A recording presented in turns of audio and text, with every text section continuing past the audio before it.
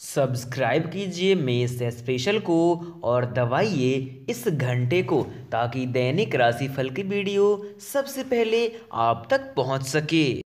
नमस्कार मित्रों, आज के वीडियो में मैं आपसे बात करने वाला हूँ कि मेष राशि वालों का आज का दिन, यानी कि 31 अक्टूबर 2020 का दिन कैसा बीतेगा। अगर आप ये जानना चाहते हैं तो इस वीडियो को बड़े ही ध्यान से आपको सुनना होगा। लेकिन सबसे पहले इस वीडियो को आप लाइक कर दें साथ में चैनल को सब्सक्राइब कर दें और वीडियो को बड़े ही ध्यान से आप सुनने का प्रयास करें।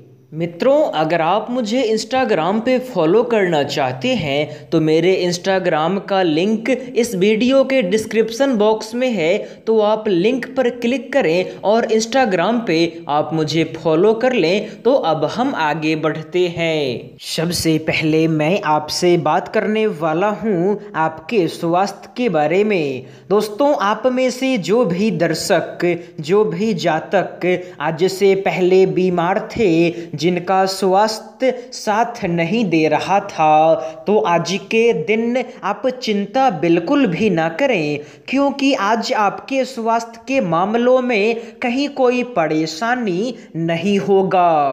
लेकिन अगर आपके धन संपत्ति की बात करें तो पैसों के दृष्टिकोण से आपका समय सामान्य से बहुत ज़्यादा नीचे है।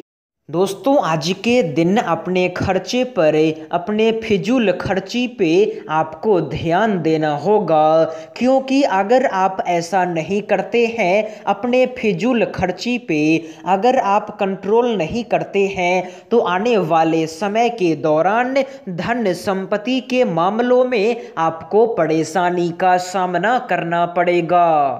दोस्तों, आप में से जो भी दर्शक, जो भी जातक नौकरी करते हैं, जॉब करते हैं तो आने वाले समय के दौरान आपके नौकरी के क्षेत्र में, आपके जॉब के क्षेत्र में आपको जो भी काम दिया जाए, जो भी टास्क दिया जाए तो उस काम को आप मेहनत, ईमानदारी और एकाग्रता के साथ पूरा करने का प्रयास करें। वैसे अगर आपके घर परिवार की बात करें तो घर परिवार के दृष्टिकोण से आपका समय बहुत ही ज़्यादा बेहतर और शानदार है।